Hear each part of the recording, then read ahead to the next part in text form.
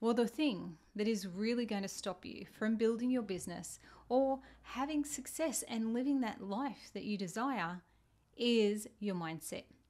It's those thoughts that are going on inside our head that could be sabotaging us from what we actually want and desire.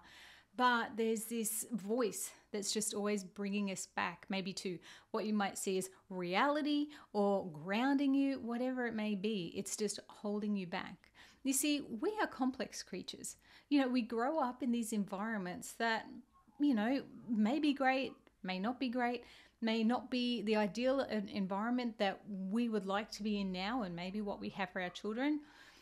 We are growing up in um, a little pool of other people's stories that are generational from our parents, from our aunts, our uncles, um, all those around us who are influencing us from a young stage.